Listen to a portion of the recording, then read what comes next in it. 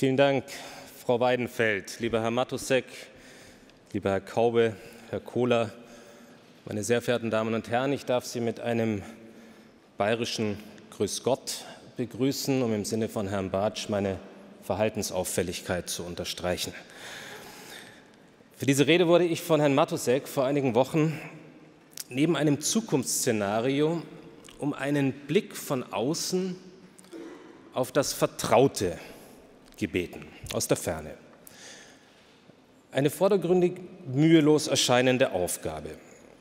Nun bin ich in Selbstüberschätzung nicht ungeübt, weshalb meine stolze Zusage noch leichtsinniger wirken mag.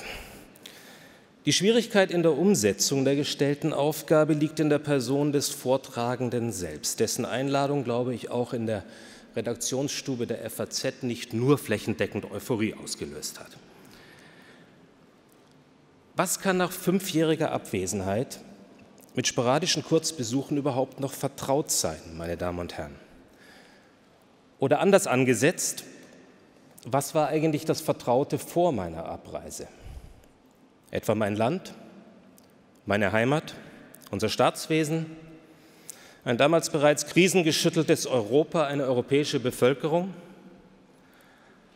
oder ein bizarres, Icarus-gleiches politisches Leben, das vom achtlosen Mantra des Andersseins beflügelt war, getragen von den Winden unerfüllbarer Erwartungen und der eigenen Hybris, so fern jeder Normalität, dass die Lebensrealitäten der einem Anvertrauten kaum unterschiedlicher sein konnten. Ausgenommen einer Umgebung, die, wie ich, den oft beschriebenen Käse unter der Berliner Glocke ausmachten. Politiker, politiknahe, Funktionäre, Journalisten und Regierungsbeamte. Blogger und Netzquerulanten treten ihre lästigen Pioretten noch unterhalb der Wahrnehmungsschwelle. Trotz gegenteiliger Beteuerungen, meine Damen und Herren, war das mir verbliebene Vertraute die Routine des Regierungsbetriebes. Manche würden diese Routine wohl Entfremdung nennen. Vielleicht ist sie auch nur das um die Emotionen beraubte Vertraute. Diese Routine ist verknüpft mit einem unerbittlichen politischen Rhythmus, in dem man fast zwangsläufig das Gefühl für weitreichende Implikationen und Kontexte verliert. Langfristige proaktive Strategien werden ersetzt durch Reaktion und Ad-hoc-Entscheidungen, die selten über den nächsten Wahltag hinausreichen. Unordnungsmanagement statt Ordnungspolitik ist die Regel. Und die Flucht in Alternativlosigkeiten ist längst vom Rettungsanker ins Habituelle gewachsen. Der Vorwurf wachsender Substanzlosigkeit, im Übrigen auch an zahlreiche Medien, ist nicht ganz ohne Berechtigung. Auch dies ein, wenn nicht der Grund für den Aufstieg zynischer, populistischer Kräfte in den westlichen Demokratien, die aber zumindest in der Beschreibung des sogenannten Establishments nicht immer ganz falsch liegen. Ein wesentlicher Faktor für die Spannungen zwischen Wahlvolk und Gewählten ist nach meiner eigenen Erfahrung die unterschiedliche Perzeption des Vertrauten. Wenigstens diesbezüglich glaube ich nicht an Wahrnehmungsstörungen gelitten zu haben. Und bereits vor meinem abgründig selbstverschuldeten Sturz verhärtete der weiche Mantel des Vertrauten zu Korsettstangen. An letzteren habe ich freilich munter selbst mitgewirkt. Also das bis zum Februar 2011 vertraute Herr Matusek, das Sie mir aufgetragen haben, hier darzustellen oder in irgendeiner Form zu, einen Blick darauf zu werfen, ist ein sehr begrenzter Maßstab oder ist im heutigen Sprachgebrauch zu sagen, ein Maßstab mit niedriger Obergrenze. Noch unbrauchbarer ist freilich der unmittelbare Zeitraum nach meinem Rücktritt. Ich habe lange gebraucht, um meine Eitelkeit zu überwinden und die dann folgenden Erfahrungen nicht ausschließlich an meine Person zu koppeln. Mein Blick auf Deutschland in diesen Monaten, das Vertraute, hatte sich in kürzester Zeit und schrecklich selbstbezogen verändert. Ich sah ein Land der maßlosen Kritiker, der Häme, der Selbstgerechtigkeit und des Nachtretens. Aber ich schämte mich auch und hatte plötzlich Angst. Vordergründig vor den Menschen meiner Heimat unbewusst wohl vor mir selbst.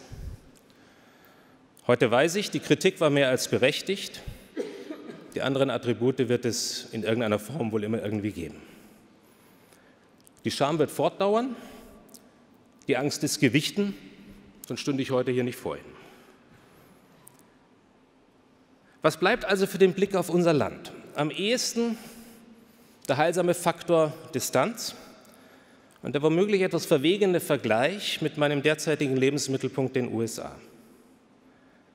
Das heute Vertraute sind zwei Nationen, die der gewaltigen Aufgabe ausgesetzt sind, einer globalen Neuordnung zu begegnen. Zwei Länder, die durchaus paradigmatisch für eine tiefe politische Krise westlicher Demokratien stehen.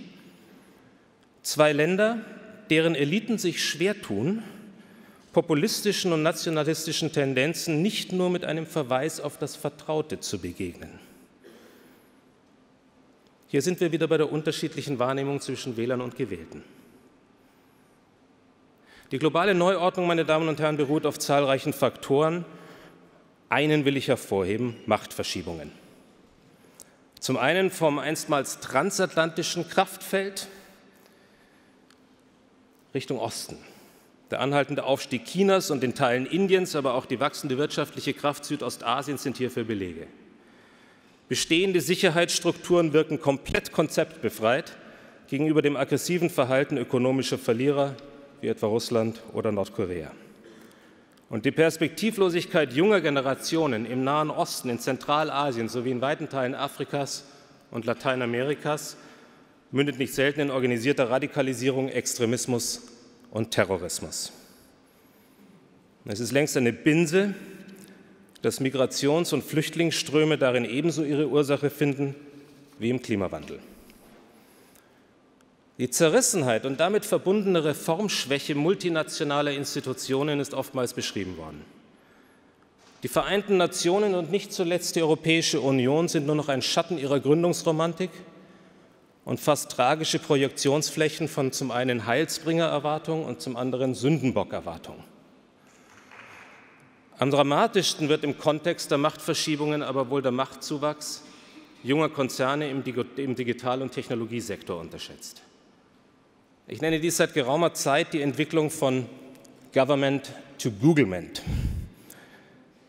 Macht begründet sich seit jeher auch wesentlich auf dem Zugang zu Information und dem Beherrschen von Kommunikation. Beides beruht aktiv und passiv auf Daten. Bereits das grenzenlose Sammeln derselben durch noch einige wenige Firmen übersteigt bei weitem die bisherigen Bemühungen der öffentlichen Hand. Entscheidend ist jedoch der Aspekt der Datenkontrolle und der Nutzbarmachung. Nahezu jeder klassische Bereich von Regierungsverantwortung kann mittlerweile durch private Datenmagnaten herausgefordert werden. Grenzüberschreitend und mit entsprechenden geopolitischen Konsequenzen. Der Souveränitätsverlust staatlicher Institutionen ist evident. Meine Damen und Herren, die Menschen spüren das. Es wird ihnen nur so ungern erklärt. Ich würde nicht so weit gehen wie Evgeny Morosow vor kurzem in ihrer Zeitung und bereits von einem neuen Feudalismus sprechen, aber keine Bastion ist davor sicher, geschliffen zu werden. Selbst der Schritt von Kryptowährungen zur Beeinflussung der Geldpolitik ist bei weitem kürzer, als uns dies durch Regierungen und Notenbanken vorgespiegelt wird. Hinzu kommt das Diktat unserer heutigen Kommunikation. Wer heute noch die potenzielle und tatsächliche Einflusssphäre von Facebook, Google, Amazon, aber auch Alibaba und Tencent belächelt und deren Einfluss auf Milliarden Nutzer verkennt, er verkennt ebenso die neuen globalen Akteure und zwangsläufig globale Akteure mit politischem Schwergewicht. Das muss per se nicht nur negativ sein, meine Damen und Herren. Viele der Neuentwicklungen bergen auch großartige Potenziale. Problematisch ist erneut das Wechselspiel des unterschiedlich Vertrauten. Die Kapitäne in der Digitalwirtschaft sind oftmals noch rührend blauäugig bezüglich bereits eingetretener und möglicher Folgen. Und demgegenüber sind die drei Gewalten in westlichen Demokratien längst Getriebene. Auch die vierte Gewalt. Ein toxischer Cocktail. Der Blick von außen auf Deutschland ergibt dabei kein anderes Bild als die Innenansicht auf die USA. Auch hier klafft das jeweils Vertraute im Dreierverhältnis Regierungen, Bürger und Technologiekonzerne gefühlte Lichtjahre auseinander. Es ist wenig verwunderlich, und ich sehe das etwas anders, als es heute diskutiert wurde. Ich glaube, dass zahlreiche Menschen tatsächlich verunsichert sind und zunehmend angstvoll diesen Machtverschiebungen gegenüberstehen. Ihr Vertrauen in die Lösungskompetenz der derzeit Regierenden hat in den USA und in Europa schwer gelitten. Aber kann man es den Politikschaffenden zum Vorwurf machen, dass sie letztlich in einem Teufelskreis aus rasant wachsenden globalen Komplexitäten und dem beschriebenen hauptstädtischen Betrieb gefangen sind?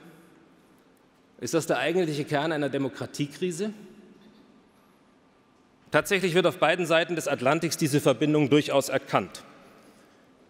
Jedoch weniger bei sich selbst als auf genüsslich beim anderen. Der Aufstieg nationalistischer Gruppierungen in Europa wird in den USA atemlos kommentiert und dann auch gerne in einen direkten Zusammenhang mit der Lähmung traditioneller Parteien gesetzt. Beidseitig, hüben wie drüben, wird auf ein Kommunikationsversagen des sogenannten Establishments verwiesen, mit der unmittelbaren Folge der Hinwendung weiter Teile der Bevölkerung zu normalerweise entlarvend einfachen Antworten. Nur was ist schon normal? Eine Ausnahme sahen amerikanische Journalisten und Politiker lange Zeit in Angela Merkel. Ihr wurde begeistert europäische Führungskraft attestiert, ohne dabei zu verstehen, dass Führen in ihrem Sinne, zumindest im EU-Rahmen, auch beherztes Zögern und das entscheidungskräftige Offenhalten aller Optionen bedeuten konnte. Manche nannten das Being Merkel Javelli. Manche sprachen von Mutti zu Hause und Schwiegermutter in Resteuropa. Zudem war aber die amerikanische Bewunderung unserer Kanzlerin auch von dem kümmerlichen Bild anderer europäischer Regierungschefs mitgeprägt. Trotzdem, in der Flüchtlingsentscheidung der Kanzlerin fühlten sich die amerikanischen Kommentatoren bestätigt. Ein Schritt, der tatsächlich weder Zaudern noch eine Strategie des Aussitzens erkennen ließ. Die Reaktionen reichten von großartige, beispielgebende humanitäre Leistung über Merkels Krönung erfolgreicher deutscher Vergangenheitsbewältigung. So wenn es noch jemandem gelingt, europäische Handlungsfähigkeit zu zimmern, dann ihr. Nun Resteuropa sah dies bekanntlich etwas anders. Und Amerika staunte in der Folge nicht schlecht über ein Europa, das nach der Eurokrise und unter veränderten Vorzeichen erneut einer Desolidarisierung ausgesetzt ist. Es staunte über den einsetzenden Einflussverlust Berlins und es staunte, wie wir alle, über den Brexit, auch im Zusammenhang mit der sogenannten Willkommenskultur. Mittlerweile wird in vielen Meinungsäußerungen nicht der Zorn britischer Bürger auf Brüsseler Bevormundung, sondern die Grenzöffnung und die Handhabung der Folgen als der eigentliche Tipping-Over-Grund für die überraschende Austrittsentscheidung gesehen. Und damit nicht genug. Und ich kann Ihnen sagen, das ist ein begrenztes Vergnügen, in amerikanischen Medien derzeit zu blättern. Heute wird in den USA wahlkampfwirksam vor deutschen Zuständen gewarnt. Ein Slogan, der übrigens nicht nur im republikanischen Lager auf fruchtbaren Boden fällt. Präsident Obamas öffentliche Unterstützung der Kanzlerin ist eine wirkliche Ausnahme. Es mag uns aus europäischer Sicht, meine Damen und Herren, freilich skurril erscheinen, wenn in einem, wenn nicht dem klassischen Einwanderungsland nunmehr erfolgreich mit der Angst vor Überfremdung Stimmung gemacht wird. Aus amerikanischer Sicht ist nichts mehr vertraut, weder das eigene Land noch Europa. Und in der Sehnsucht nach dem vermeintlich Vertrauten kann Resignation und Aufruhr liegen. Ein prachtvoller Nährboden für Populisten. Der Aufstieg dieser Kräfte ist auch für sich genommen weder Auslöser noch Ausdruck einer Systemschwäche westlicher Demokratien, wofür es auch aber andere Anzeichen gibt, sondern ironischerweise Teil einer gelebten Demokratie und reflektiert eher die Defizite der Amtsträger. Ich nehme mich dabei ausdrücklich nicht aus. Demzufolge ist das reflexartige Attackieren der Populisten durch die Platzhirschen auch nur wenig intelligenter als die Parolen der Herausforderer selbst. Ein dissonanter Dreiklang entsteht. Die Populisten greifen das Unbehagen und die Ängste auf. Die Etablierten greifen die Populisten an und die Bürger greifen sich fassungslos an den Kopf. Weshalb schlagen wir sie nicht mit den eigenen Waffen, wird gerne mal in der einen oder anderen Volkspartei geraunt. So reizvoll ein dosierter Einsatz dieses Ansatzes sein mag, so hoch ist die Gefahr, dass das Waffenarsenal stumpfer wird als das der Gegner.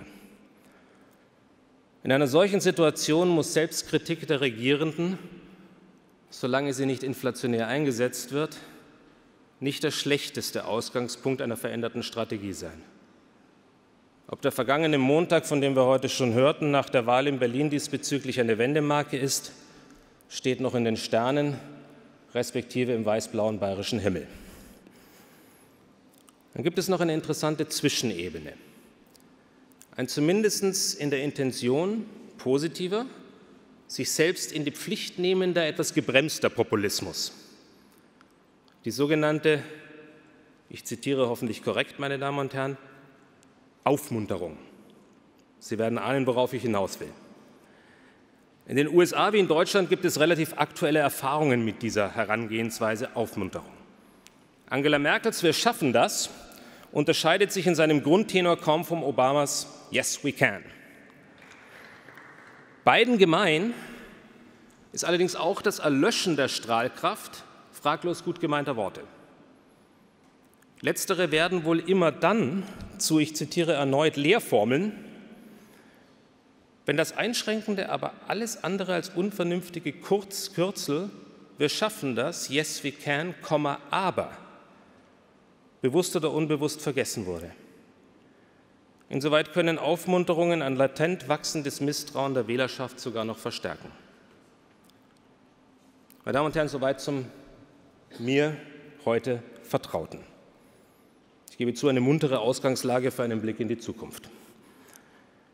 Ich muss allerdings auch einräumen, dass sich die Stimmungslage auf beiden Seiten des Atlantiks im vergangenen Jahr in einer mir unvertrauten Weise nochmals verschärft haben. Das grassierende Ausmaß an Zorn und innerer Zerrissenheit wollte ich mir ebenso wenig vorstellen wie einen Brexit oder das infektiöse Momentum der Trumps, der Petris, der Kaczynskis und Straches. Noch vor Jahresfrist habe ich getönt, wie froh wir sein können, bislang keinen wirklich begabten Charismatiker in den nationalistischen, rechts- wie linkslastischen Bewegungen zu haben. Eine durch und durch törichte Aussage. Es reicht offenbar bereits, ein blonder Prolet mit der betörenden Aura eines Grundschulbullis zu sein. Im Übrigen auch eine sehr ernüchternde Erfahrung aus den USA. Ich kann auch hinzufügen, dass Donald Trump sogar den politischen Skandal entwertet. Wir haben gestern darüber gesprochen, Herr Kohler, indem er ihn inflationär zelebriert. Also Sie entwerten den politischen Skandal, indem Sie ihn inflationär zelebrieren. Was war das doch für eine schöne Zeit, als man noch wegen Abschreiben sauber aus dem Amt gejagt werden konnte, meine Damen und Herren. Ähm,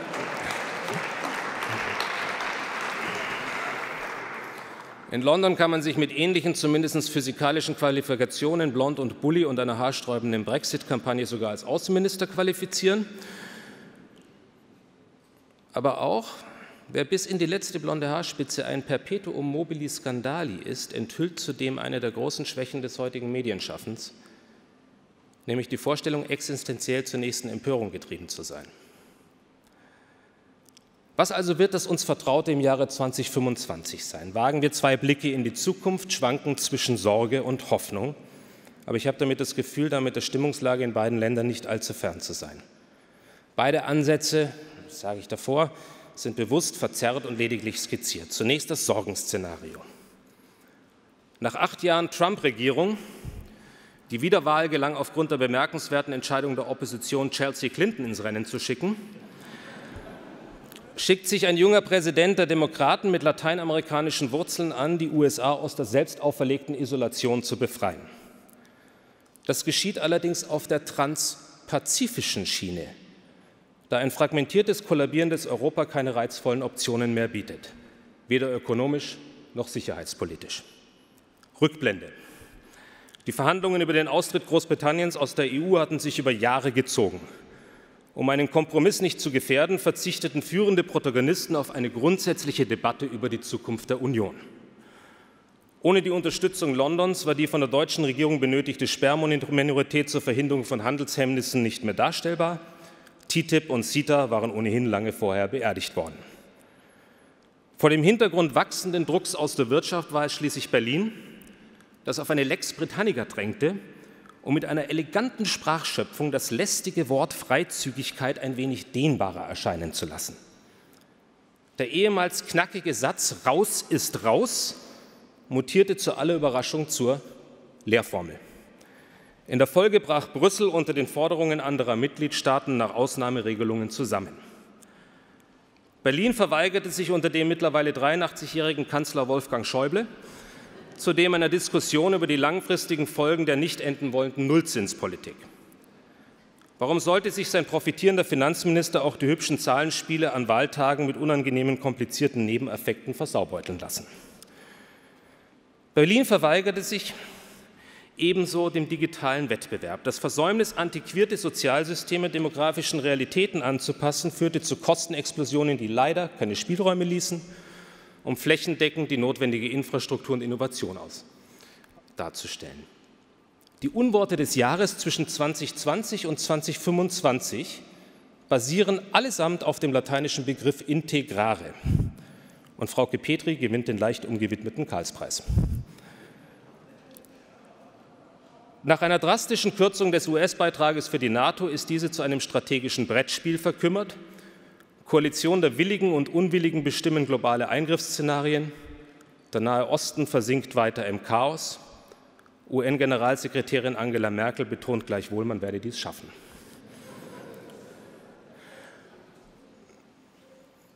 So wird es natürlich nicht kommen, hoffentlich. Es gibt auch eine optimistische, hoffnungsvollere Variante, und mit der will ich schließen, vielleicht weniger vom typischen deutschen Nörgeln getragen.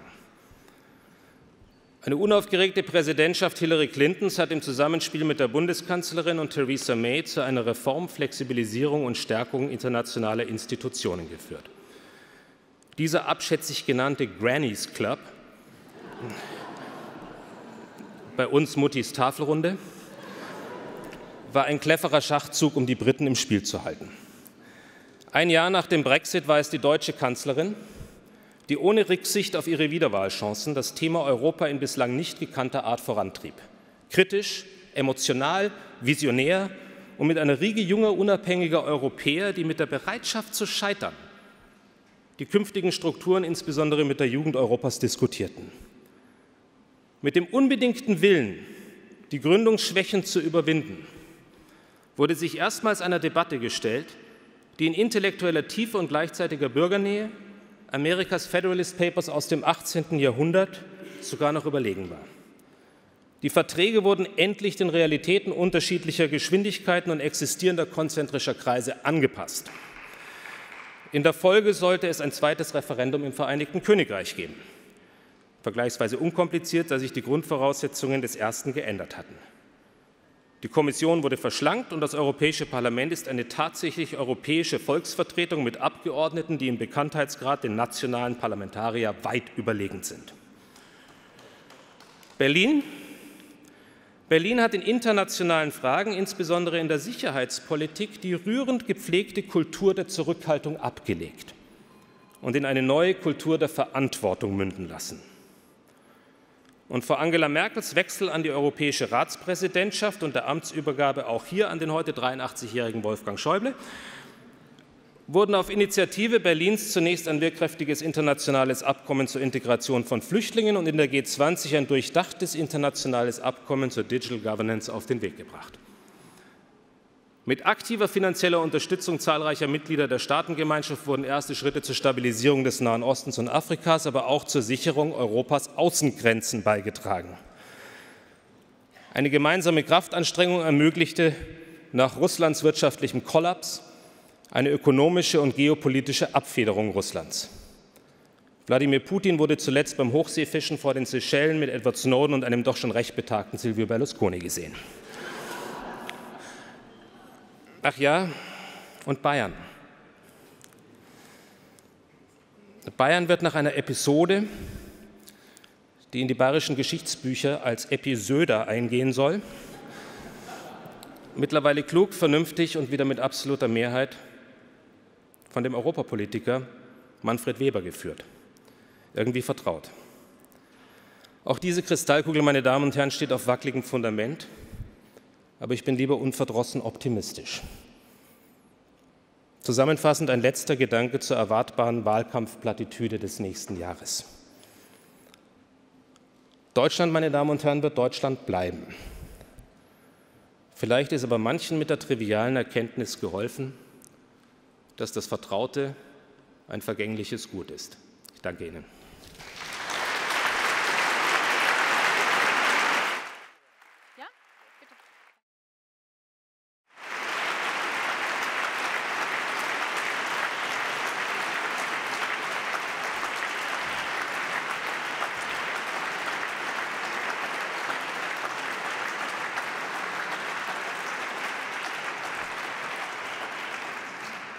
Ja, wunderbar, vielen Dank. Eine großartige Rede. Ich hatte irgendwie das Gefühl, dass das erste Szenario Ihnen näher lag. Das zweite haben Sie uns lieber vorgestellt. Beruhigend ist ja, dass Wolfgang Schäuble auf jeden Fall schon mal sicher ist. Aber was ist jetzt das Wahrscheinlichere? Ich habe tatsächlich Hoffnung, dass die doch sehr chaotische Situation, in der wir uns in Europa derzeit befinden, noch so etwas wie den oft beschriebenen Weckruf auslöst. Und die Impulse hiervon, hierfür können und müssen aus dieser Hauptstadt hier kommen. Also es ist eine Verantwortung, die man, glaube ich, nicht delegieren kann und warten, dass andere europäische Kräfte sich dessen annehmen. Und ich meine auch, dass so schwierig eine solche Debatte in einem Wahljahr zu, vordergründig zu führen scheint, zu sein scheint, dass eskutiert werden würde von der Bevölkerung. Und von daher meine ich, dass das Szenario, das zweite Szenario kein ausgeschlossenes ist. Ein paar Elemente des ersten könnten wir aber wohl auch sehen. Dankeschön. Eine Frage haben wir noch. Niemand hat eine, dann darf ich Ihnen. Ah, äh, Entschuldigung. Bitte schön. Aber eine kurze. Nee, reden Sie einfach mal los. Das ist schon, ist schon in Ordnung. Ist an. Ist an? Ja. ja. Herr von Gundenberg, ich habe nur eine kurze Frage. Können wir nicht in Deutschland mal fünf Grad sein lassen? Ihre Dissertation in die grüne Tonne kloppen und Sie kommen zurück in die Politik. Das müssen Sie nicht ihn fragen.